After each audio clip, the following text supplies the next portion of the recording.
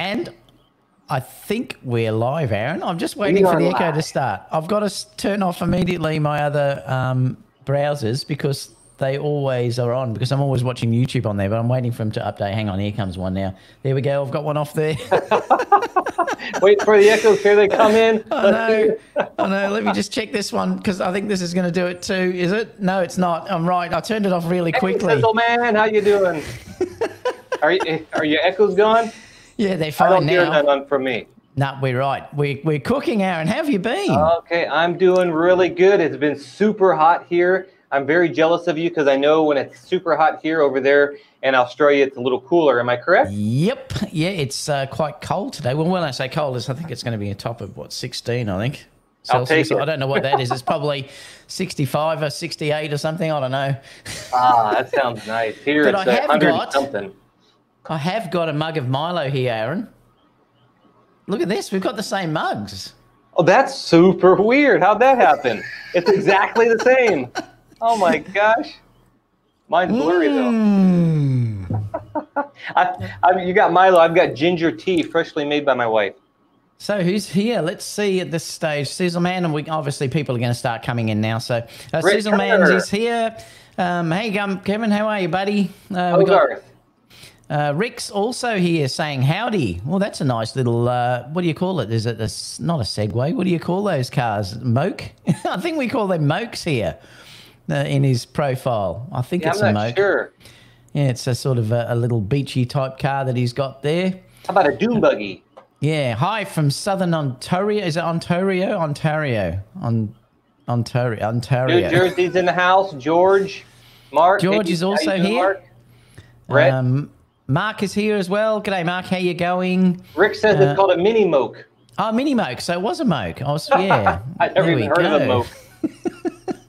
you learn something every day. Hey, Brett. Uh, Brett's here as well. How you going, Brett? A couple of fellow Brisbaneites. Um, they're also. Uh, I noticed they were whinging up there. It was quite funny. They were whinging up in Brisbane because uh, it's cold, and I think it was because uh, it was it. about six degrees Celsius. it's like the end of the world up there for them. Man, it's like a hundred and something here. The Sahara Desert's blowing in sand from you know, far off, and our skies look like Southern California right now, which means very brown. oh, so how long does that last? Uh, I don't know. I would say a couple weeks every year, but it's like really bad. I've never seen it this bad in 12 years. It's like really bad. My eyes are itchy, and yeah, not good. Um, G is uh, from New Zealand. I love New Zealand. We, I've got to come back there again soon. I want to go. Yeah, one of my favorite places on earth. Absolutely adore New Zealand. Mm-hmm. Um, can't wait to get back there. It looks like New Zealand is going to be one of the first places to open up for travel for Australians. They're going to do what they call a travel bubble, which means because Australia has so low um, virus counts, they're going to do a um, international travel between the two of us. I mean, in a lot of ways, Australia and New Zealand are almost the same country anyway. Um, we don't need visas to get in and all this sort of stuff. And, we, you know, we, we treated like we um, are locals when we go in, like we can work over there, they can work over here and things like that. So it looks like that's going to be the first place we're going to travel to. So that might be somewhere where I go because I'm going to be able to go there um, reasonably soon. Uh, Michelle's here as well. G'day, Michelle. Carol. How are you? Um, she's saying hi, Aaron and David. Uh, Brett's saying good morning, guys. We're just giving it a few minutes, uh, everyone, just to let people in before we uh, start. You know, going on with the show. You know, Dave. Every time I do the show, I feel like it's my first time because yeah, I'm like trying to figure out an organization and what do I click on next. Yeah, Brett's cold uh, uh, up there. Um, Carol, g'day, Carol. Good to see you in here as well. Um, what's what's Brett said there? I mean, Brett hey, said I'm a summer guy, David. I, I quite like winter. Oh, I love winter. That's like my. I hate summer, and I just love winter. I've always been like a mountain man. I grew up in the mountains, mm. uh, hmm. mountains in the woods, mm. and uh, I just love chilly weather, and I love to put on coats and all that stuff. Uh, the heat, I just, uh, I don't like it. Yeah, well, I mean, well, you never get winter up there. Uh-uh. I mean, I like the funny Never. thing is, I actually like the. I do, I do like summer as well, but I also like the seasons because I love the the changing like seasons. seasons. Yeah, yeah, and I like the fact that, like you said, I can sit in front of a fire and rug up, and I love yeah. going out in the morning where it's frosty and misty and foggy, and you know, I love that sort of um, atmosphere, like you know New York uh, Central Park in winter. You know where the snow's oh, everywhere. Man. Oh, you know, yeah. You saw my photos there. I mean, yes. that was that was my bucket list to uh, get Liz Deanne out there and take photos in that that type of environment. Oh my gosh, that was like one of my highlights. But like you said, I do like. Uh, you know, maybe I would get. I came from Ohio, so it was like really cold, but it would get hot in the summer. So, you know, I mean, you might get sick of it if it's just always cold. So, yeah, I do like the um, the seasons. That's for sure.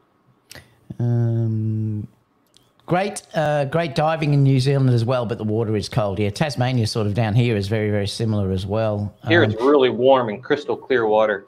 Carl is saying hello, David, Aaron, and friends. Uh, Dana's here as well, saying hi all. Um, Mark said, "He he. Once you get acclimatized, it becomes cold up here. Melbourne is mostly miserable." I know Mark always goes on about that. I love Melbourne though. I, I, absolutely adore Melbourne. I think it's it's got the best sort of cafe culture and sports. I just love it. Yeah. Oh, I would love that. Um, Hogarth, I am here in Puerto Rico. Been here about 12 years. Travel a lot. You never know where I'll pop up, but right now I for 12 years I've lived here and that's where I'm at like right now. Now minus 25 is says not yeah, fun. That's, that's good. A little extreme. Aaron's at Puerto Rico. Yeah. So Aaron's uh, yeah in an island, a tropical paradise, basically. So he never ever sees um, he never ever sees winter. never, unless like we travel a lot, so I get to see it through my travels. So George said, "My wife found my new Tamron 28 to 200 millimeter. I blamed it on David. I love it. now she wants to have a chat with Kerry. Oh, George, don't start. Oh, oh my funny. god, that's funny. Well, I certainly won't be buying anything for a while, not until uh, work starts picking up. That's for sure. So I'm just staying with what I've got, and, and in a way, it's it's been quite good because it's made me realise that exactly I, I, can get by with what I have. for sure. you know what I mean? Like it, it changes your whole thinking. Like normally, mm-hmm. I'd have all this time where everything has been released and out, and I'll be wanting to buy more and more and more. And lately, I've just been thinking, well, I don't really need much else. Exactly. That's so. That's, that's the bottom line. I just wanted to start the show today too to talk about a great video Aaron put up on his channel. Um, I watched it this oh, morning. I think it went up. I'm not sure whether it went up overnight, but yeah, in the morning. This, yeah, oh. it was there this morning when I got up. Um, tell us a little bit about it, Aaron, because I know you're just starting in your channel, having the uh, you've gone more towards the art side of things. But uh, tell us a little bit about that video, because I'd love people after they finish with this show to go over and have a look. Well, yeah, that's the thing. You know, uh, being in the quarantine, like most of my photography is or videography was always shooting people or video uh, filming people. It's one or the other. Uh, I did, you know, dabble in filming just uh, just still life or things or sceneries or whatever like that. But predominantly, it's been photographing or doing video of people. And you know, during the quarantine, uh, I didn't have a, a, model to shoot. You know, my wife models for me all the time, but just in the scenario, we couldn't go out and all this stuff. So it was kind of like, what do I do? And I would never, oh, I would very rarely take a photo of just stuff in the last, uh, I don't know, 12 years or whatever, uh, because there's not a model there or someone to model for me. So uh, during, my wife said, why don't you just start taking photos of things and posting that on Instagram? So, you know, you just, your, your Instagram just doesn't die out and all that stuff. So I said, yeah, I should start just taking photos of stuff, looking at something interesting and photographing it in a way that you commonly don't see it. You know, like most people stand at about, uh, depending on how tall you are, but they hmm. stand upright and they look at the world like this with a 50 millimeter ish uh, compression and I don't know uh, the field of view, but like that. So if you look at a scene, you go, this looks pretty cool. Where's the light coming in? Where's the lines? And start thinking about like this is there's something cool here, but how can I make it just put something to it, put to put some sauce to it. So I really started digging into what I used to do before I was doing professional type stuff 12 years ago, and that is just looking at things and finding out how you can uh, lead someone's eye around the photo and lead it to where getting into photography basically and the art of it. And then I started looking at the, the history of it as well in these last uh, month or so. And so I decided, like, you know what, I I'm just I don't want to do gear videos. I, I want to get more into the art and the history, the history of mm. photography. So I said, you know what? I think I'm just going to start a new YouTube channel because it's just uh, that one has become a mess, and I just want to be more in the art of photography. So I made a new YouTube channel, uh, Aaron J. Anderson Photographer, and uh, my first video was basically talking about kind of that. Uh, basically, talking that I think we should get more back to the art of photography and not the gear for photography because I think it's been a stumbling uh, a stumbling block and a trap for new photographers that come in. They immediately go to YouTube to learn photography and then they just get swept away in gear videos. And that's that they just I mean I know people that just watch gear videos over and over and they're always buying gear and they like hey mm. I don't see your work or you didn't take a photo or a video as yeah but that new it's just I just seen this like wow I just don't want to be a part of that anymore so I decided to make a channel that's going to highlight on techniques history I'm going to call out other photographers who inspire me and things like that. So if you want, check it out. Um, I wish I could put the link here in the chat, but uh, I, am sure I'll I do not want to I'll, nothing. I'll stick it under the uh, description down the bottom here anyway, so people can go and check that um, out. So you, we can, you know, they can well, go. That's it in a nutshell. Yeah, I mean, it was good. Now I noticed too. Uh, have you? Uh, are you still shooting Sony at all, or have you now gone completely back? Yeah, I've got Sony and Fuji. Fuji. I I got someone again was gracious and got a got another Fuji on my hand. So I've been doing both, but you know, I I just I end up picking up the Fuji more. Uh, I don't know why. It's just one so of those things. which one are you using? What are you using? It's just now? an older one. It's the XT2. Oh, okay. It's an older one. I think it's like four years old now. But like we were saying, um, man, you really I've said this kind of over the years. It's really it's I, if you watch my video, there's tons of uh, uh, famous photographer quotes in there about saying it's really has nothing to do with the gear. And other people would say, you know, you, you give a professional a, a crappy camera and they're going to make a really cool photo.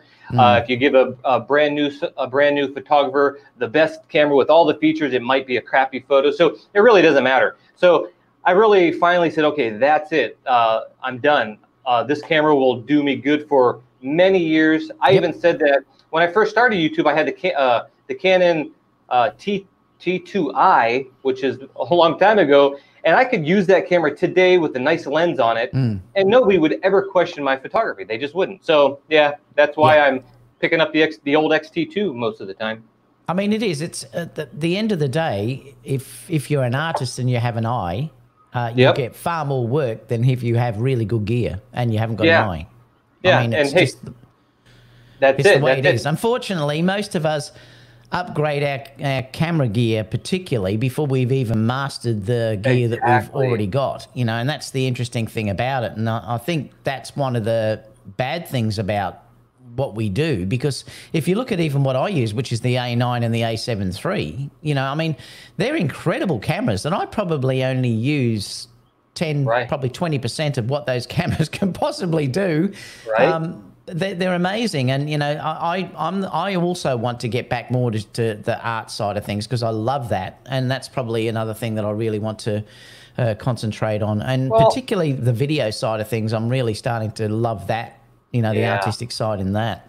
Well, I hope that video I did inspires people to get back into the the, the art and maybe even the history, because history will teach you so much about the art itself. So hopefully that inspires people to move. And the thing about you know, like you're saying, you know, buying that next camera before you master the old one. I mean, think about this. You, you know, you, you hear of a, a new camera model coming out. So what do you do? You you look at countless videos. You probably spend days, if not weeks, looking at these videos.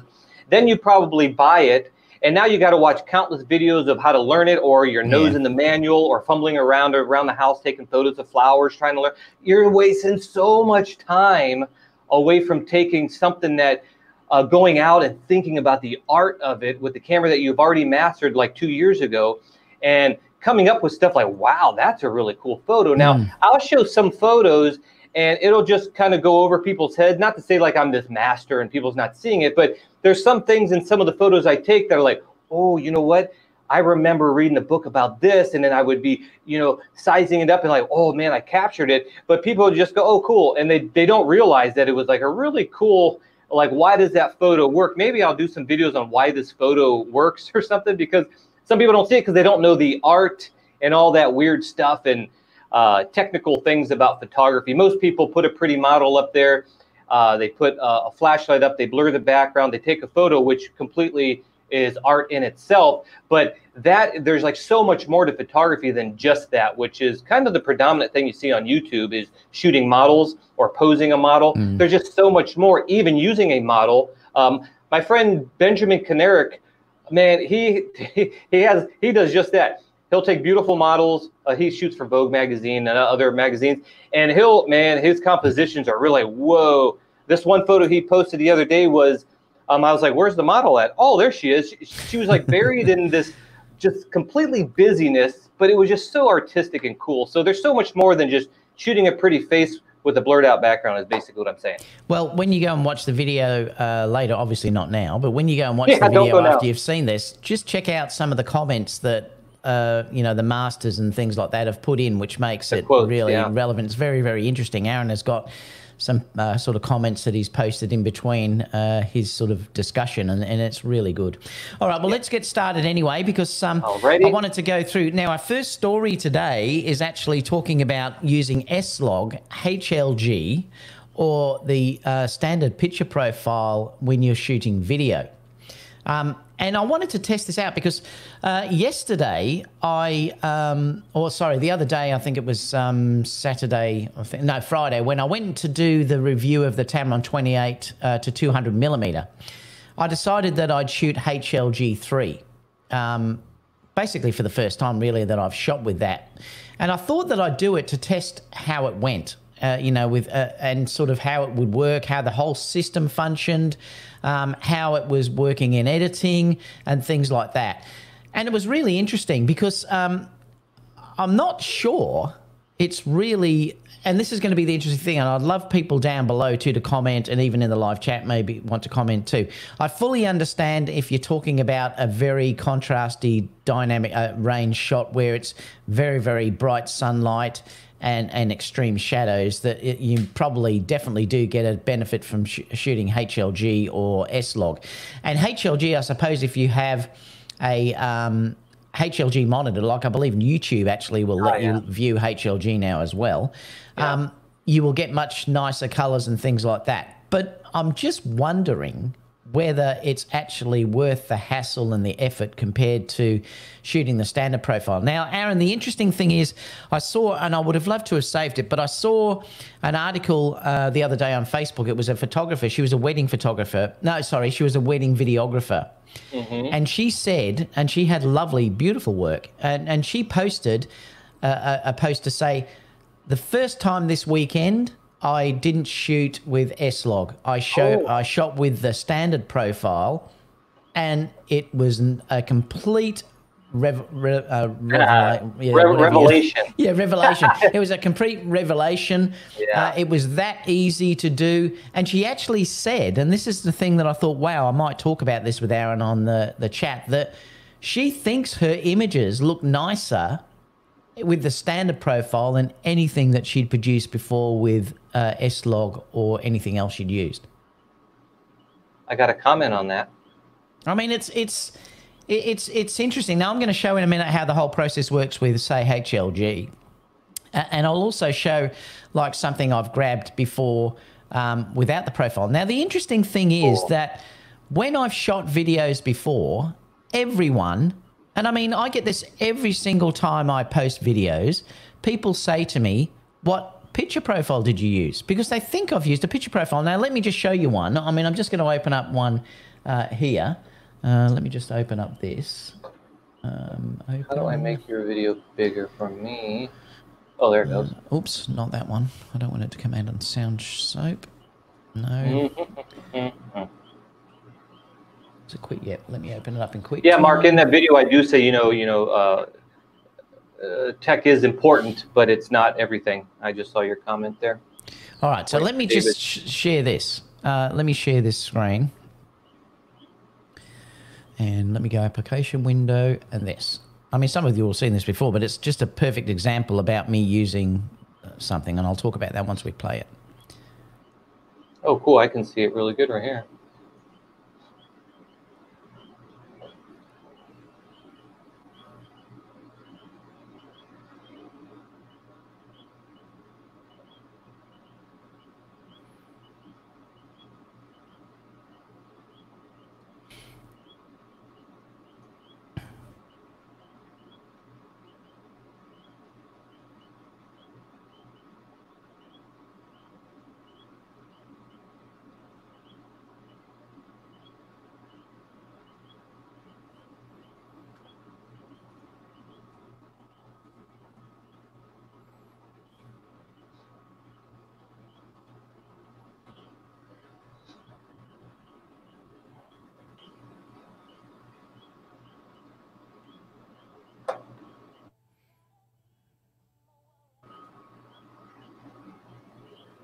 All right, so let me just stop uh, the screen sharing there for a second. Now, that was shot with the standard profile. I think that was shot with the A9 actually. But now, like I said, every single time that I shoot video, I get the same comments of people saying, What picture profile did you use? And they're quite shocked when I say I didn't use one, it was the standard profile.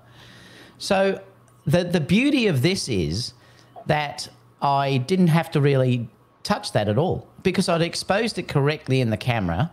Um, and therefore, when I took it into Final Cut, all I had to do was very, very minimal editing on that to get that to look like it was there. And I think that looks beautiful. And it's It completely standard. There's nothing on there at all that, that caused editing issues or anything else. Um, and I'm going to show in a minute uh, what you have to do for, say, using HLG. Yeah, did you want to say anything about that, Aaron, before I show that, or is there No, anything keep going. I'll do my Okay. comments when you're done. All right. So that that's that side of it. So that's sort of showing um, how you do that. So all I really did was just bring that straight into Final Cut. Now let me just show you another one that I did here, which is this is also well. Let me open it up first. Um, uh, let me scroll down here. Now this was shot uh, in 4K. Um, let me just go share screen and application window. And again, I'll bring it up. Now, if I play this one, now you're not going to see much movement here because this was just a test just to get this, uh, the exposure and everything correct with uh, Renee. So this, as you can see, it's it, there's only a little bit of movement that you can see uh, going on here. This again was shot with the standard profile. Now, the reason why it was shot with a standard profile, I, I, I intended to do HLG for the whole day, but I saw this scene and I didn't have time to get my A73 out, which was set up to HLG3. So I grabbed my A9.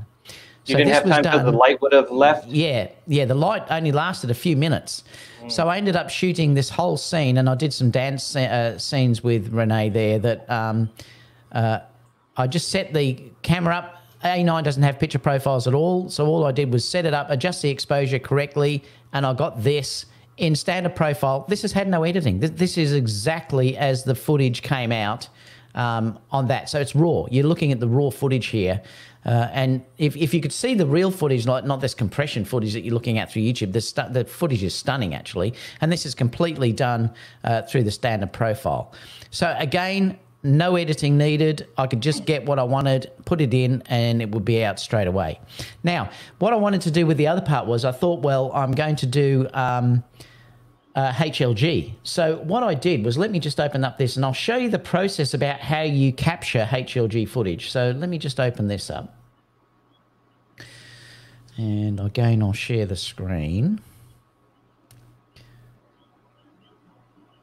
So now this one is, is the whole process of how you use HLG. So you'll hear me talking anyway through it. We don't hear any audio. Oh, is there no audio? No. Oh, that's because I'm using that mix minus. Let me put mix minus off just for a second and it should work. Oh, hang on. Um, just don't talk, Aaron, because I think you'll echo back, but we'll just see. Uh, advanced audio operations. I've got to find where I turn it off now. Oh, yeah, there it is. Now it should work now, I hope. Okay, so what I thought I'd do, I thought that Can I'd it? show you uh, how to edit HLG3 um, files and just show you how the system works. So what I've done is, uh, this is a review I'm doing of the Tamron 28 to 200 uh, that's happening at the moment. So I thought I'd show you here uh, what's going on. So this is the clip that I'm adding up. Now, if I click on the clip uh, and I press on the information up over here, um, you'll see that this is a, it's a 4K file and it's shot in 25p. And you can see too that it is showing that it's Rec 2020 and it's HLG. In fact, it was shot uh, HLG3. Um, this was in the we're using the Sony A7 III. Um, now you'll notice too that when I put it into uh, the timeline down the bottom, uh, look how much this is overexposed. So if you're looking over here, you can see how much this is overexposed at the moment. This is the difference, say, between using a standard profile and something which is HLG. Um, so what I thought that I'd do now is I'll show you how you can correct this. Now I'm going to use something that's called Leeming LUTs. I could edit this manually if I wanted to, uh, but there's a lot more that's involved in it. And I, use what they call uh, a Leeming LUTs. Uh, what happens here is I've set up the zebras. Once the zebras disappear, I know that the exposure is basically set uh, correctly. Uh, and then all I do is I bring this into the timeline. Now, at the moment, if you look over on the right-hand side over here, there's an area here that shows uh, camera LUT. Now, at the moment, it's got none on there. Uh, but if I click inside here, I can go down to the bottom down here, and there's multiple different LUTs that are showed through through this. Like there's actually Cine uh, two, there's neutral, um, there's HLG, HLG3, log, um, S-log2 and S-log3. Um, but I'm going to choose uh, HLG3. Now I'll just turn this off so you can see it. So watch what happens to the image when I press this HLG3. Uh, you can see now immediately that it, it, darkens up. So it's brought all of those ranges now into line. Now, if I undo that, I'll just show you one more thing here. Um, let me just turn the LUT off again. Look over here too, if you're looking at the waveform, you can see that it's way overexposed. It's actually, what, 110 uh, IRE up here. Uh, and you can see there's just no shadows down the bottom. Like it, this is basically what that exposure has done. Okay, so now watch what happens when I put the LUT on. So I'm going to come down to HLG3 and now also look at the waveform as well. You can see here now it's brought it with completely within the range, uh, so nothing is clipped uh, and it's much more balanced. Now you can see it's darker though, that's the only thing. Now all I have to do now is a little bit of adjustment. So if I go into my color controls for this, um, let me just click on the image and I'm going to adjust this. Now all I do is I just manipulate this to where I like the look of what's going on. So I'm going to adjust the highlights. I'm going to adjust the midtones up a little bit. I'm going to then drag the shadows down, checking the waveform over here in each case. And now you can see uh, that that's a fairly nice exposure. And again, if I wanted to, you know, you can just play around with this until you get the look that you like uh, in the image, just making sure that you're not clipping things in the waveform, etc., uh, over there as well. So it, you know, it's a great way of working, and it's basically all automated uh, to give you a great result without much uh, manipulation or editing at all. Okay, so oh, let me just put that back on. Um, and that that's that's the difference. Uh, you know what I really wish that I'd done is taken the same shot with HLG on, uh, HLG3 on, and then just turn the picture profile off and seeing how much I can match them in post. Now I know I know there's more dynamic range, but there's just something that I love about the standard profile, and that's what that girl, and like I said, I wish I'd grabbed that. That's what that girl said when she was, or that woman said uh, on Facebook when she'd shot the standard profile for the first time and it was like this wow what have i been doing all this time by using picture profiles and everything else she said her colors were the nicest that she'd seen i think that the sony and it's probably the same in other formats i can't talk about it because i haven't shot those like fuji and other things but you may be able to talk about that aaron in a minute but i, I think that for me personally I just think I'm going to stick with the standard profile now. I think the standard profile is the most underrated profile that's out there. The other issue is too, and I worked this out when I was shooting the other day as well, that your picture profiles are baked into the JPEG files. So if something happened to your meet your card, uh, you'll get HLG3 files on your JPEG files, which might, which will probably render those JPEGs useless. Um, so if you're doing what I do, which is uh, you know like fusion of a mix of video and stills at the same time, it's quite dangerous shooting an HLG3 or any other thing like S-Log or whatever. Your raw files are fine, yes, but your JPEGs may not be. Uh, and I thought, you know, I, I just wanted to know what your opinion was about that, Aaron, because I just don't know if it's worth worth the workload unless you have extremely I know and I know videographers are going to say David you're talking complete rubbish here I'm talking from my experience about doing this and I just really think 99% of the time I'm just going to shoot the standard profile after doing that test with that video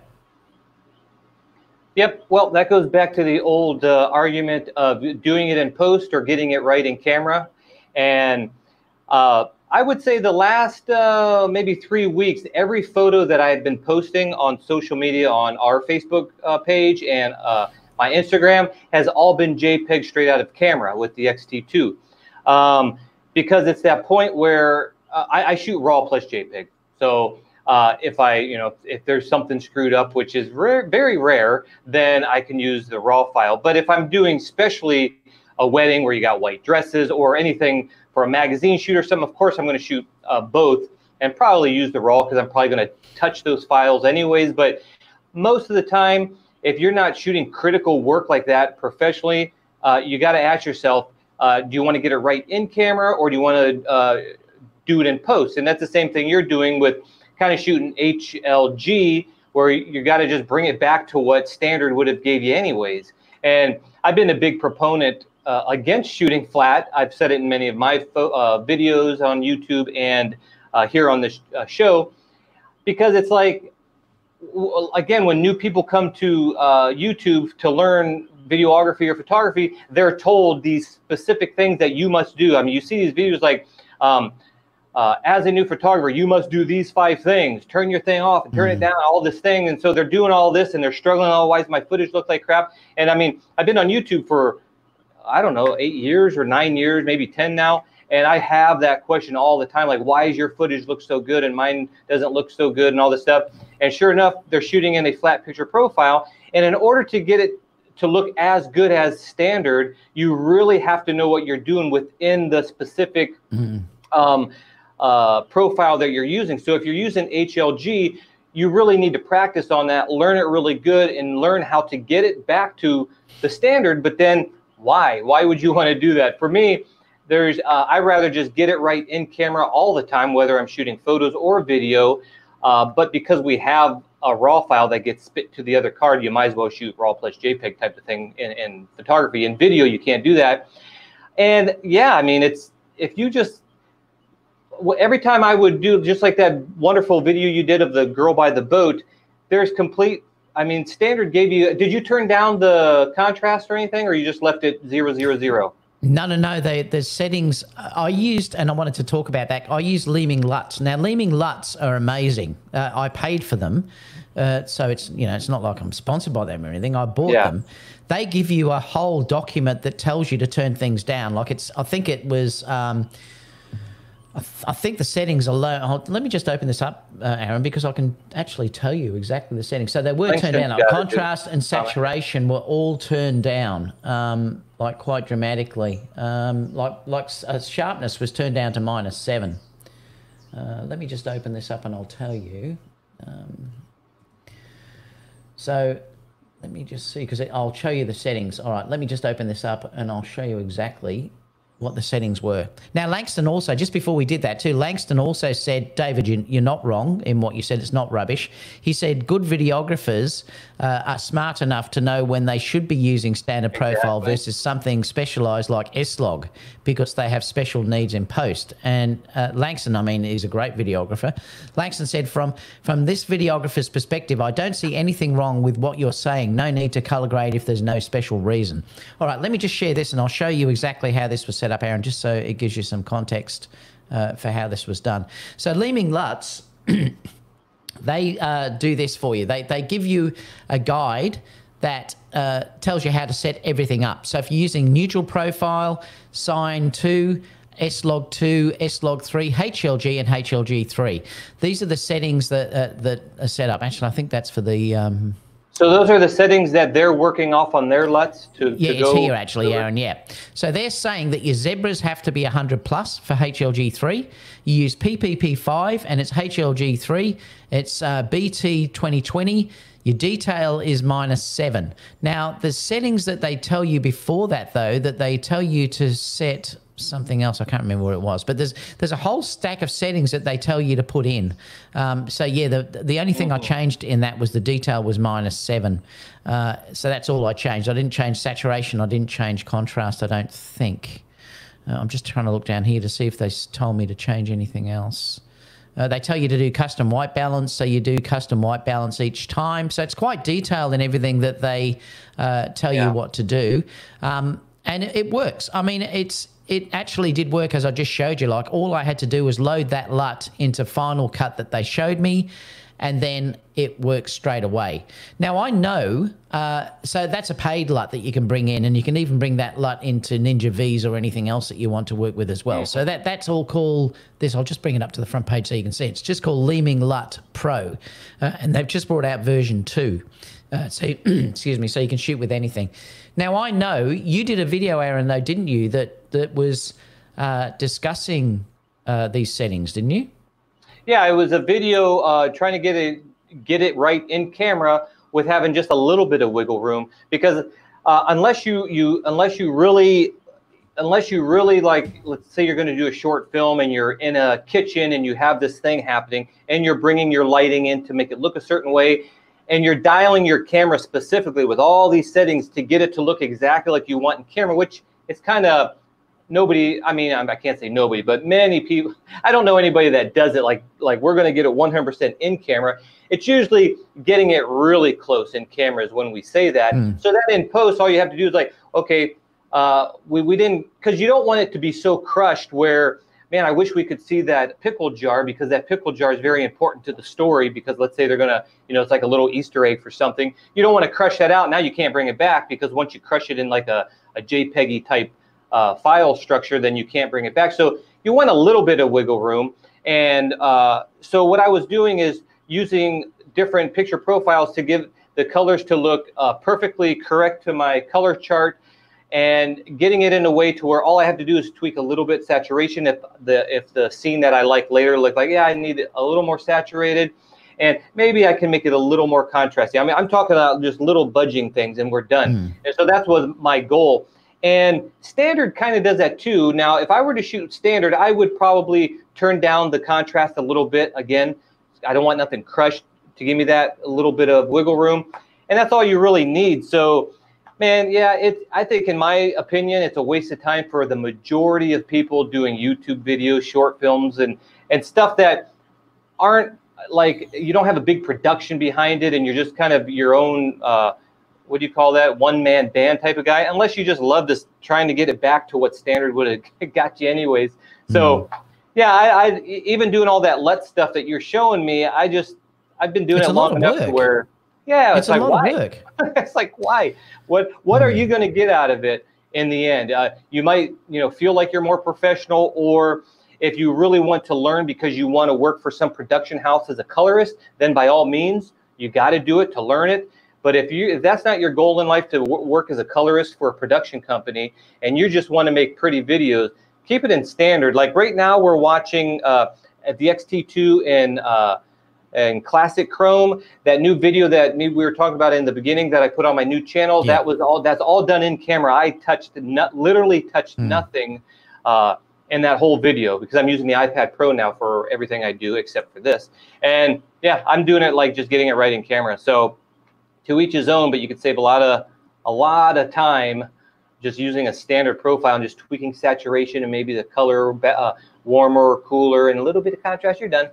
So, I just find, I, I just find when I'm doing it, as long as I nail, and I know if I can't get it because I can see it in the screen anyway. I mean, I know Yeah. when I'm looking at the image, the type of result now I'm going to get when I do it, you know, when it's outputted. But like I just showed you, the amount of work extra. Like I said, it might be if you're a full-on videographer, but even Langston says Yeah. he uses, he he only uses um, S-Log and things like that, or HLG when he needs to use it. And that's the thing, I suppose. If you reached a range where you were looking at something and you thought, oh, "there's no way I can get this range that I want," then it might force you that you have to use HLG. But I haven't come across that yet at this stage where I think. I've ruined the footage because I didn't do that. I've always been able to get it by using the standard profile with careful exposure. And Yeah, you know, I've- and it's throughout my time, I, I did ruin, not maybe ruin, but got a little some shots. This is a while ago. That was a little too contrasty. Like I said, I couldn't bring it back. But once after I made that mistake, then I always know if I'm trying to get it right in camera, just back off on the contrast a little bit. The color, you can keep it zero, or if you, like I said in my last video on my uh, Aaron J. Anderson photographer uh, uh, YouTube channel, I literally, it's just, I got it right in camera how I want it. And like all the photos I've been posting the last three weeks is I, I'm getting it right in camera 100%. Uh, but I'm not crushing it too much. It's just whatever you like. And the other thing is, it's not just trying to create or capture the most dynamic range, but if you're going to go for a narrative film and you're really going to color grade it to a very special color grade, like you're going, uh, I don't know, just pick any movie you like, uh, The Matrix, that's popular mm. for that green look. Then you might want to shoot, you know, with the contrast down or uh, saturation and all that stuff because you're going to really color grade that thing like crazy. But then do you got a camera that has a big enough codec or a, a, good enough megabits per second or whatever they call it or are you shooting raw that'll allow you to really color grade it the way you think you're going to like hollywood because you probably got like an a7 III that you know it's going to break apart if you really push it too much anyways so yeah I, am I'm, I'm not a fan of, of flat picture profiles uh, and I've, you know what I've, I've found the biggest difference is white balance this is oh, yeah, the thing huge. that I have found more than anything. If if you just that's use your automatic white balance, the the color and everything can be all over the place. As long as you lock your white balance in and you do it, and I use the same thing as well. Very I just important. use the uh, Color Checker Passport video version. I use that. Do a custom white balance on that. If you can't do that, just set it as a uh, you know as a, a um, go like 5600 if it's daylight or whatever. Set your white balance in like that and lock it in so that you know that each shot you're going to do, it's not going to have a, sort of variations between each take that you do, which can look really bad. Uh, so, you know, try and stay out of auto white balance if you can. I found that's a far more critical thing uh, than yeah, anything. And as long as I've done that, I've always been happy with the footage. And like I said, everyone has always asked me, oh, what profile did you use? And I think they're shocked when I just say it was a standard profile. Yeah, because I think people are just uh, heard those YouTube guys say, no, you got to shoot flat. And it's like, these guys are new. They don't even know how to color grade. How are you telling these people to shoot flat? They're going to have terrible time, and then they're going to come to you and ask you, hey, what picture profile you use because it looks amazing. I use standard. Oh, I wish someone would have told me just to use standard and drop the contrast just a little bit. And then they could have saved so much time and headaches and wonder why their footage doesn't look as good as someone else's. Uh, the color balance or white balance is the absolute most important uh, unless you're shooting on a Blackmagic camera or a red camera or an Arri Alexa or whatever that shoots raw or whatever yeah. that you could change it later like a raw photo then you have to nail it no matter what picture profile you're using and like david said if you put it in auto and it's even if your camera's locked down and you're you're showing like a beautiful scene like he had with the light rays coming in let's say and let's say it's a little tighter and you know the, the dancer or the or the the actress or actor is off the screen and the camera's looking at the scene and it's and it's changing its auto white balance to fit the scene but then you have someone come in with a red shirt or or just some other color or they're getting close to the camera the the auto white balance is going to say whoa we, have just got a color shift here and it's going to change that white balance and you're not going to be able to fix that in post because it's going to constantly getting uh, magenta then green mm. and then blue you know, it's better to have it all wrong. Like, let's say you accidentally forgot to put it in, uh, let's say you had it in tungsten, uh, the dial, and you set up for the shot. At least the whole scene won't be fluctuating, and you can at least color grade it just one time for the whole scene. So, white balance is the most important thing. Yeah, like Nash said, he shoots on one and tweaking the settings. I only use S log for really bright outdoors. See, the other thing too, which is a pain, like the log settings uh, that you use, you, you, then it gives you a minimum ISO, which is quite high. 800, this is yeah. another aspect as well.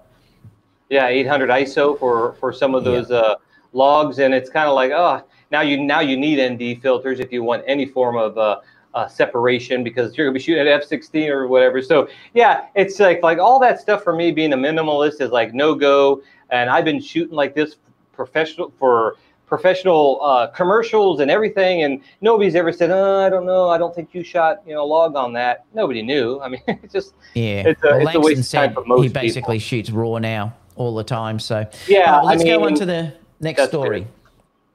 All right, so next one is talking about light and we wanted to discuss this because um, I I'll talk about my perspective um, first, and then we can um, I can give you uh, you you can we'll show some examples about what we do.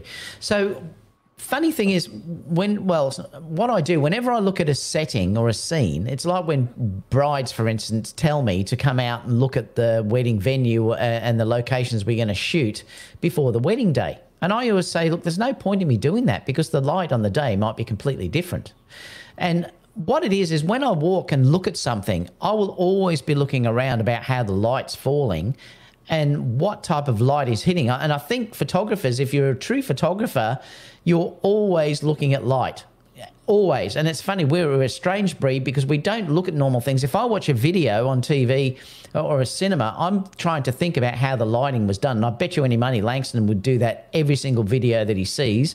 I'm always trying to look at how the lighting is created and how, you know, how they shoot within that context. So it's it's really interesting. And often people will laugh at me because I'll be driving somewhere and I'll go, oh, look at that light. And I'll almost want to pull over and, yeah. you know, just sort of shoot it. And we look at things a little bit differently. So I, am I'm, I'm going to show a couple of images that I do, and then Aaron will talk about it from his perspective. I'm going to show sort of outdoor settings, and then Aaron is going to show some indoor settings, I think. But let me just show you what I'm talking about here. Um, let me open this up. Uh, open in preview. All right, so we'll look at this one first. Let me share my screen. I'll just bring it over here so I can see what we're doing. Share screen. And let me go application window. And I wanted to use this one as a, as a perfect example about looking for the light. Now, there's light rays that are coming through this forest. And this is what I looked at when I um, when I went uh, uh, looked for this image. I we tried decided to do a Red Riding Hood type shoot, and I saw the light hitting, and you can see where the light's hitting down here. You can see where the beams are coming down, and the light's actually hitting through that section there. So I've asked her to stand directly in that light. And these are the things that you try to uh, find when you're looking at. Um, where to place uh, someone or something because uh, it's like this find the light and stand them in it i think is a perfect example of what you could yep. say so find the light stand them in it because it will make the most biggest difference in anything and i always look for these gaps between the trees where the, the sunlight is starting to shine through and it, it will light them up and i did that in that dance video that i just posted uh, before, and I'll show you another image from that in a second. So that's exactly how I've done that. And you'll notice I've turned her face slightly towards the light as well. It's she's losing a bit of darkness on this side, but that's fine. It gives it a bit of mood. I don't mind that. I mean, I could have turned her around a lot more, but she's still being hit by that light that's coming out the side. Now that's one example. So let me show you another one. Um, let me go to this one.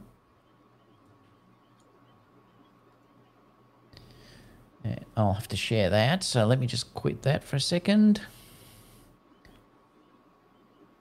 Now this is uh, the other one. It's the same setting basically that you saw before. Um, now let me, did I open that up in preview? Yep. Let me go share screen, application window, and this one. Now again, this is exactly the same thing. Um, there's light beams that are coming through the, the trees that I showed you in that video at the beginning that were coming down. And you can see the beams actually in effect coming through. But all I did was I asked her to again face towards that light. Uh, and it, without that, this image would have been completely boring and lifeless. The thing that made this image is the light that's hitting Renee there. That that is the the the total thing that's made this. And if you can do this, um, and you find that light that's there, and like I said, you stand that subject or whatever you're trying to do in that light that you're looking at, it will make that much of a difference in your shot. Because really, at the end of the day, it's all about the light. That that's the thing with this. Everything really is about the light that's hitting your subject because that's what gives that the pop and the brightness, the intensity, and, and even though this is very soft, uh, you know, without that light coming through and hitting Renee in the face, I deliberately asked Renee to point her face up towards that light because when she put it down, it wasn't hitting her in the right way. So asking her to sort of point that light up, her face up towards that light there, made all the difference uh, in this shot. So let me stop sharing because Aaron's going to now share some things with you as well. So Aaron, I think, is going to share some indoor stuff with you that you can have a look at. One thing I'll just say about outdoors, just brought me to my attention, is sometimes if you're walking outside and you, let's say you're going down a, a street and there's trees and stuff like this, even though the sun might be, you know, over like the physical sun is over there, you might be like, oh, where's the sun? Which I do, like, where's the sun? But the sun's over there, but there's this big open spot in the trees where I can see the sky. So literally most of the light is kind of coming from this area. So it's not always like just the light source itself because it might be in shade and shadow, but if you just look around, you go like, this is like a bright hole here in the tree. So there's where my light is. So think about uh, light that way. Now, first I was going to show just a real quick thing. Uh, how was we going to do this? I need to go share screen, uh, app, uh, uh, entire screen. Let's see if I can do this right. Uh-oh. is, it, is it not working? Why isn't that working? Share. It's only letting me do application window. So let me just show you this. Can you see the oh, boot? Oh, that's come up. Yep, there we go. Okay, so stream. I'm just going to show you these real quick because he's showing, I'm going to show you model stuff too, okay. but it's all about chasing the light. So this isn't a model, but when I, you know, if I'm looking for a photograph, I'm find, trying to look for the light, finding out where the light is. And it, it, I didn't set this up. I opened the door to take out the trash when I came back, like, oh my gosh, look, so it's just like trying to find the light. Now, I don't know if I can show another one and share. Forgive me if this is kind of wonky. Uh, can you see that photo of the, of the uh, light? Yep, let me add it to your stream. Yep. Okay, so again, uh, you know, chasing the light, finding the light. So it's beautiful. You know, I want to go out and look for, oh yeah, the lines on here and stuff. And you know, without that light there, it would have been kind of okay, cool. The lines look really interesting, all that, but the light just like wow. So light is everything in a photograph, uh, or it could most of the time, anyways. You can make you can make photographs without light. Um, but let me show you like more of a model type stuff. Let me show you this one. Uh, share screen application window. Oh, I, can I do? Okay, I can do. The yeah, there thing. it is. Okay, so here's another oh, way. Um, actually, that's not working because that's just showing your screen, your whole screen, I think, Aaron. You can't see my photo? Nope. Hmm. Let's go. You have to stop sharing, yeah. Let's uh, share screen, application window. Hey, wait a second. Sorry, guys, give me a second. That's all right. Why it doesn't work now. Okay, can you see that photo anyways? Yep. Okay, so this is in a barn. Now, there was horses in all these different stalls. Why didn't we choose the the horse in the middle of the barn? Well, naturally because the light's not great. So we moved like where the camp where you're seeing me take this photo, like right behind me is the big open barn doors, not the ones at the that you're you can see the barn doors at the other end of this uh, barn, but right behind me is another big barn door where we opened wide, letting the light hit on our subjects here. And again, it's the light. If I wasn't skilled or I wasn't looking for light, I might have just picked a horse in the middle of the dark stall, and then we would have had a dark, gloomy photo. So I can show, um, let me show another one here. This one's interesting, I think. Uh, share screen, application window. So this one here is uh, all natural light. What did I do when we were walking down the hallway? Well, I need to find the light. Where's the light coming from? Well, on to the right. Um, David will know this place that we. Yes, I certainly do. Yeah, in Vegas, uh, in the uh, the Venetian, I believe. Um, as you're walking down this hallway, there's all these different windows. You can see the windows light hitting the floor as you walk down. So naturally, where's the light? It's right here. So I had my wife sit right here, and I'm using the light as a big soft light basically. It's, and that and, window light there, before you uh, quit it, I yeah. mean, the window light is usually, and I'll use that with brides always. It's always a gorgeous soft light, which which is just so stunning to use. And I think people it, often forget that that's one of the nicest lights that you, you know that you can get.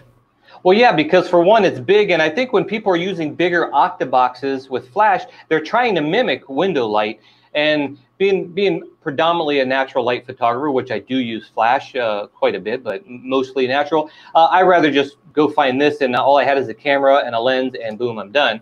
Uh, so let me show you this one here. Now this is the exact. Whoops. This. Let me get out of that one. This is the exact same window share screen, share application window.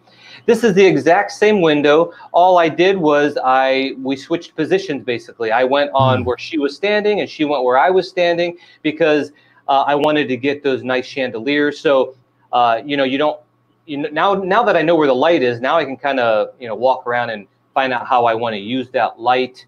And I will show one more here um, and this one here, and then uh, we'll be done with this. Uh, share screen, application window.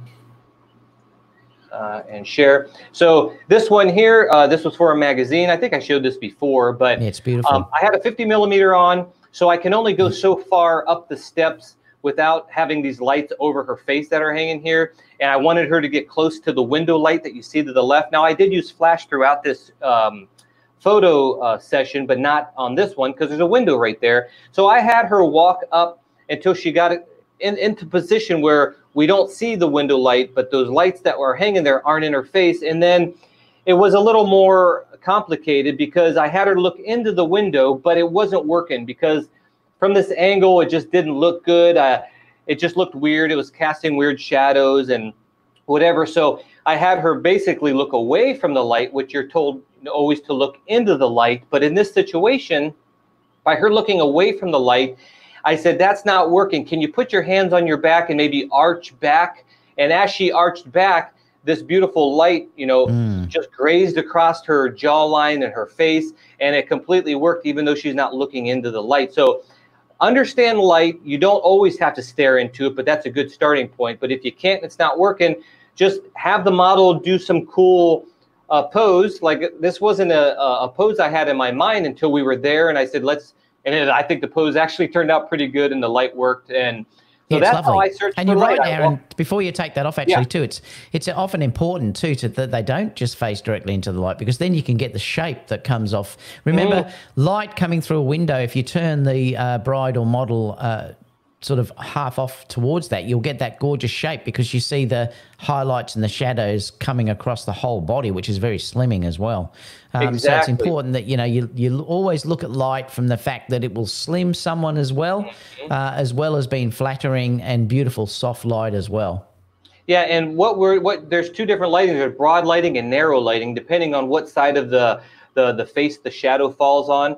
Uh, like this one here, the main light's hitting like the the broad side of the face here, uh, and the the smaller side of the face is basically in shadow. Now you can reverse that depending on the the slimming effect or just the look you're going for. And for this model in this position in this situation and composition, having her arch back, it just it worked perfectly. So when I okay, I can cancel that while I say my last thing here. So when you walk into a room, or like David said, outside, you look where's the light coming from. I need to know that. Uh, if you go into a room of a girl getting ready, let's say for makeup, where's the light coming from? Okay, they've got their little oh, I didn't show it. They got their little ring light for the makeup, but yeah, it just doesn't look good because it looks better here. What I usually do is I'll close all the curtains and I'll turn off all the lights, and then I'll create my own light either by opening the window up just a little bit if you want just like a slither of light coming through, or if it's bouncing off the wall, creating a soft light, or completely closing it and using a flash. So walk into a room or into the woods or into a street, like where's the light source? Once you know that, then you can start molding your photo and stuff like that. Okay, I'm done.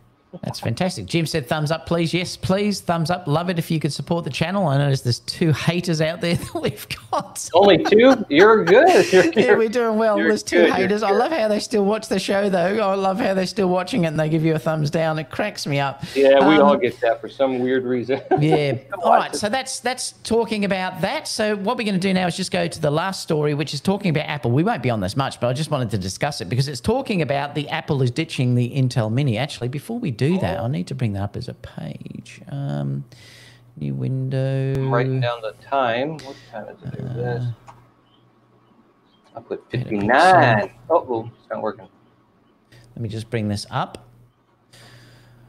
And I'll see if I can find the story because basically it's talking about Okay, I got it. um, the new processor that uh, Apple, Apple the. Apple is going to use. Um, let me just see if I can find the story through here. Well, while you're looking, yeah, Apple's not going to use the uh, the Intel chip anymore, which is pretty exciting, actually. Not for Intel. I know. I know. It's, it's Intel, going to be amazing. All right, so I've got the story up. Let me just share this Yeah, go for it. once it comes up on the screen. Why is my computer going? The internet's just gone slow. Yeah, so anyway, while this is trying to load up, uh, it's interesting because Apple had their WWDC or whatever it was called the other day, and they've now said that they're going to produce an Apple um, processor. They're gonna they're gonna use one of the ARM chips uh, instead of uh, using Intel chips. Now, this is going to be a massive thing if you're dealing with. Um, Apple uh, particularly, and you like things like Aaron uses his iPad, for instance, all the time. Now, is that opening up or it's not? Um, Apple is using his iPad all the time. Uh, he's using, using Lightroom, things like that. Okay, it's just opened up. So let me just share this just for a second. Uh, share screen, application window. This I'm one. all iPad now, even on my videos. All right, so this is um, just the story about it, and, and it's just a whole discussion about uh, what they're doing. And, you know, they've gone from PowerPC, which used to be the early one, then they shifted over yeah. to Intel. Um, and now they're going to shift away from Intel and go towards um, their ARM processor. And they did this whole demo of showing how it performed. Uh, and this is with a, a, lower end one, which is probably the same, almost the same processor that's in the iPad actually at the moment. They did mm-hmm. some incredible Photoshop stuff that you can see here with the number of layers uh, that are, are, sort of in this image. And also, it was showing some Final Cut stuff that was running 4K footage uh, as well. Um, and it worked in real time, like like it was incredible. I don't yeah. think people understand how powerful that the iPad is uh, safe even now. Like Aron's now doing all his video editing on the iPad. Um, and the the thing is, I can just imagine where these processes are going to go in the you know next couple of years. So they've said by yeah, the end of the year they're going to bring out the first one, and it looks like it might be something like an iPad Mini with the the uh, might be an updated um, 2020 uh, iPad Pro um, chip in it. Now, why this though is important, like a lot of you may be saying, well, this is no big deal, but but it is. It's a massive big deal because what this does is it means all of the Apple software has to be rewritten, and that that's not a big task because apparently, from what Apple have said, uh, the software that they've developed to do this can do it within a matter of days. Now, they showed Adobe were already uh, supporting it with Photoshop and Lightroom they showed that already working. And like I said, I just showed you that in that web page that I'll share down below anyway. But it worked incredibly efficiently, like like amazingly yeah. well. Now, the incredible thing about this though is that once they transition over to the ARM processor, it means that you will now be able to run the same programs on the iPad as well as the uh, desktop and vice versa. So it means, for instance, if you're on an iPad, you'll be able to run Final Cut.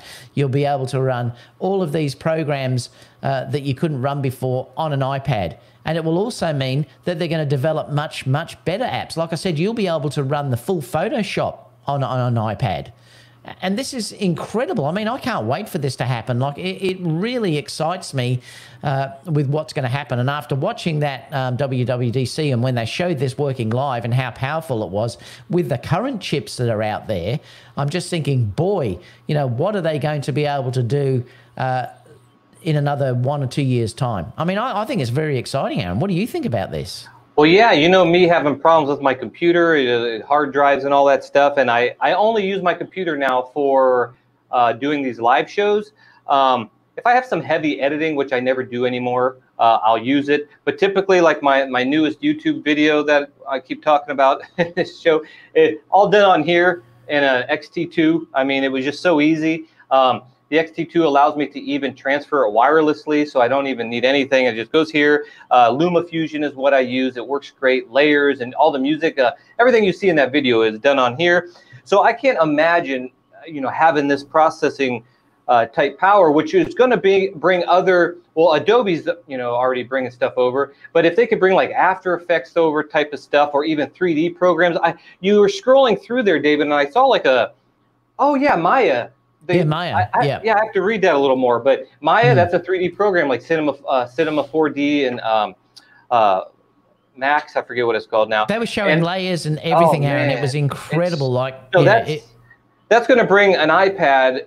I mean, this is the future right here. I mean, it, I think this is already the future. But once they do that, I mean, there's like just no need for a computer, I don't think, for so many things. Hook this up to a monitor if you want even a bigger monitor. Maybe even have a smaller iPad like this uh, this is an Air 2, uh, just so for, for portability, and then hook it up to your monitor with all the power that these have. I mean, it's well. It's that's exciting. what Brett's saying. Brett's saying iPads and tablets are too small for me for editing stills of video, but but they're not, Brett, because no, I, put it on I use thing.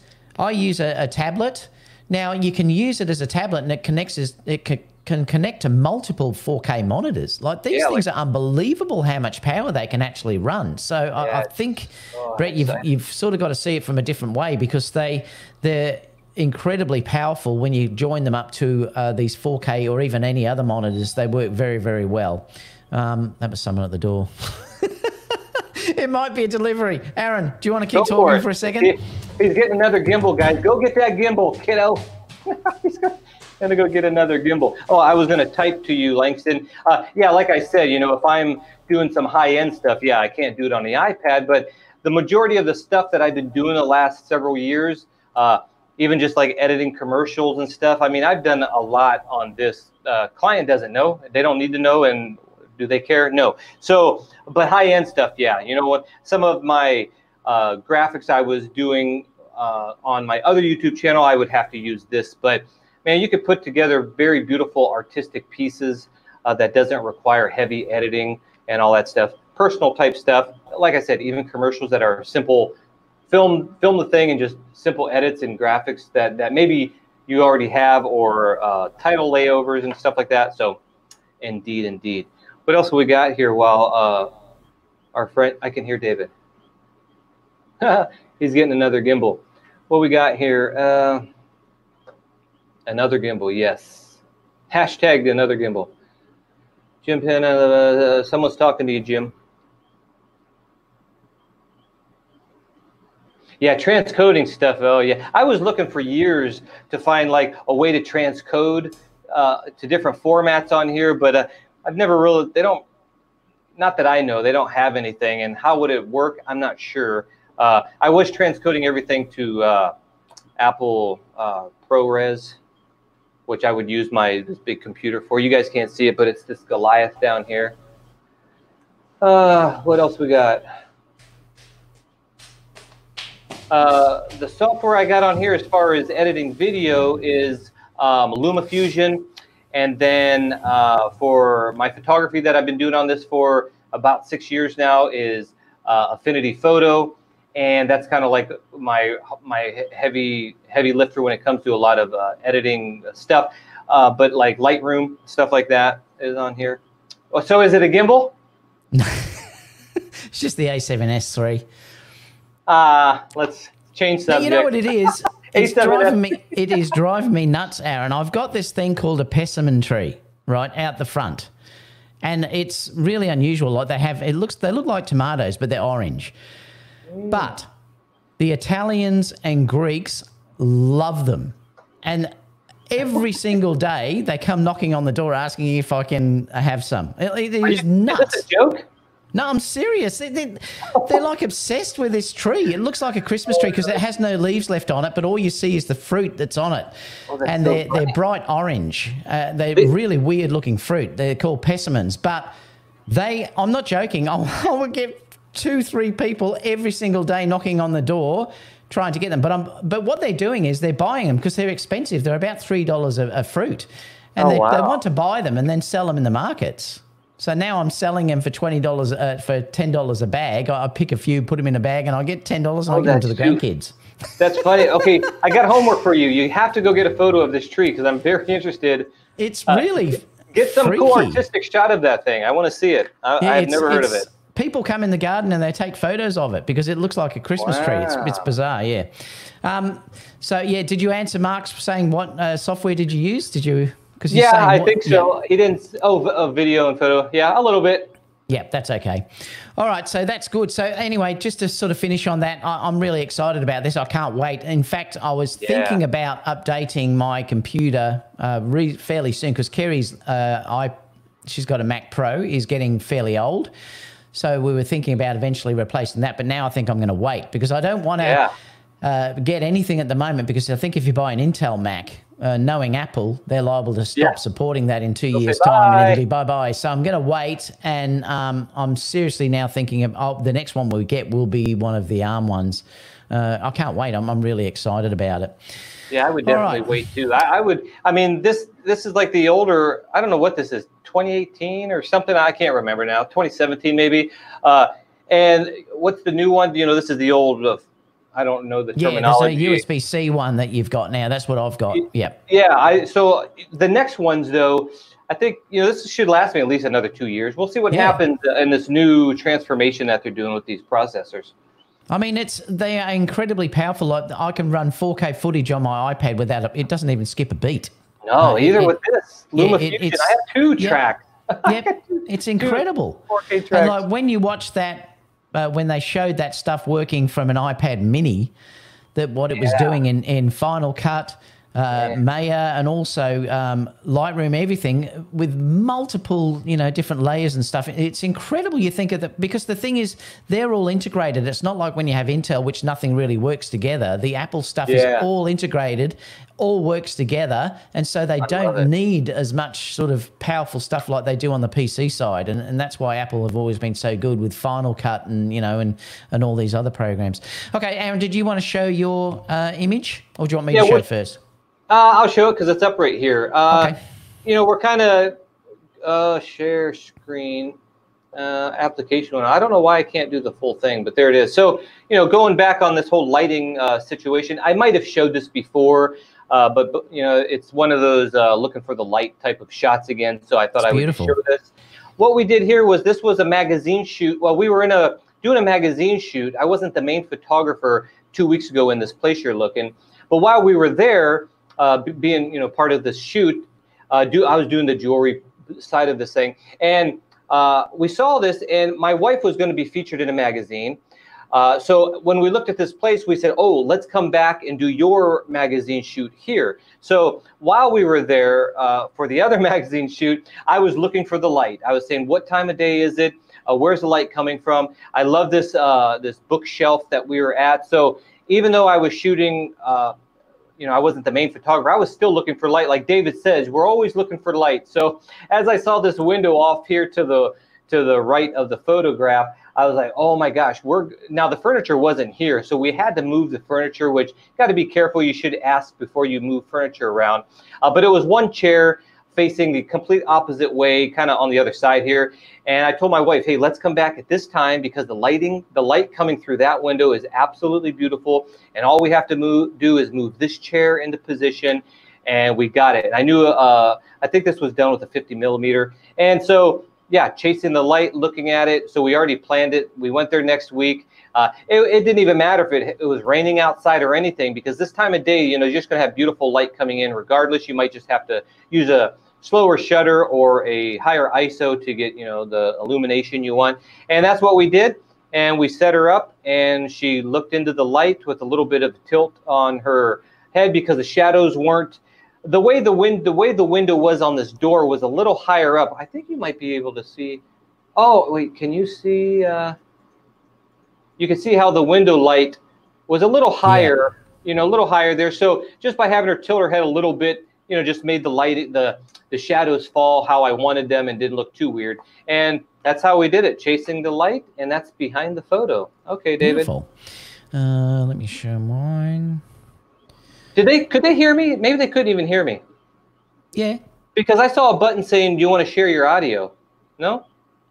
No, well, I think they could. Uh, oh, because I just know in the chat. No one's saying. Not. No one's saying they couldn't hear you though. Let us know in the chat, guys, whether they could hear you. Uh, let me just share this one. Uh, this was a shot that I took the other day. The Otways down, uh, well, not that far from me, really, is is one of the most beautiful places I think on earth. Ah, I, I love the Otways.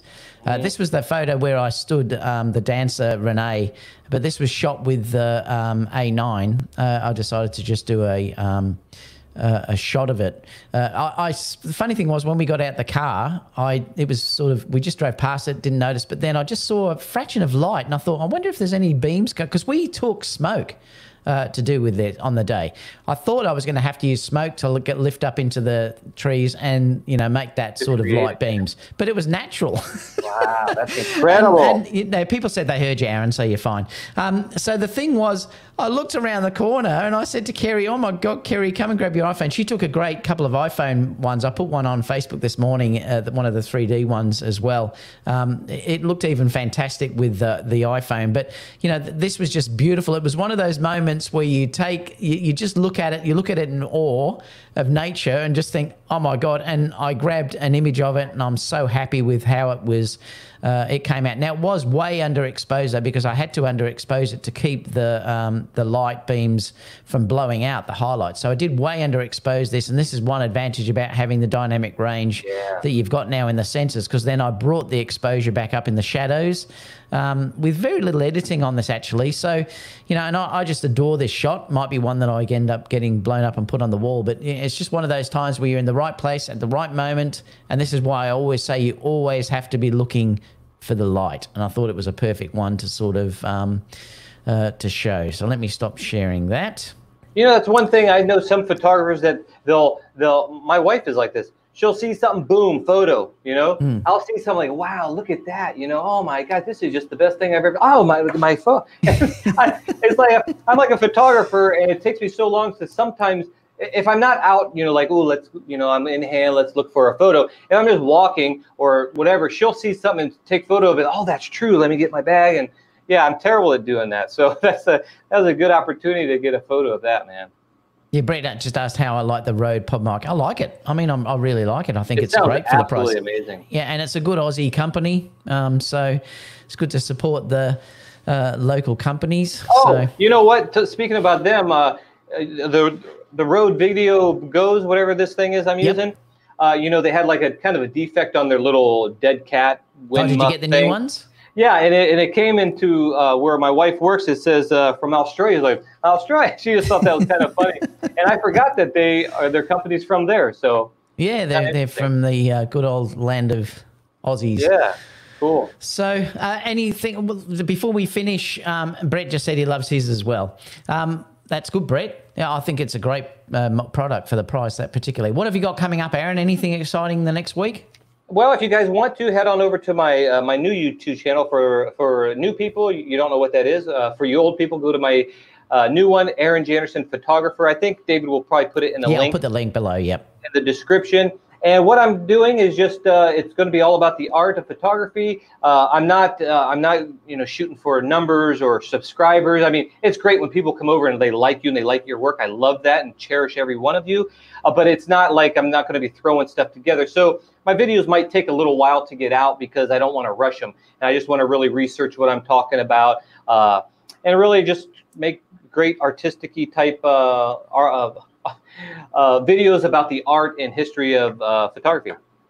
Beautiful. I've got the Tamron review coming up, the full review. I know I put the video review up uh, of it doing uh, filming a video of, of Renee the dancer, uh, but I'll have the full review up um, probably tomorrow, I think, because I've I've been taking stacks of stuff and things like that, so I could give, Can you a, give us a, really a quick? review. Can you give us a little quick, uh, little tidbit? Did do you like it or you don't? Yeah, or no, I do. we I, th- I think it's probably the best uh, travel lens for Sony that's available. Um, so I tested it against a 70 to 200, and it matches that, like the F4 version, and that's way yeah, I saw those expensive. photos.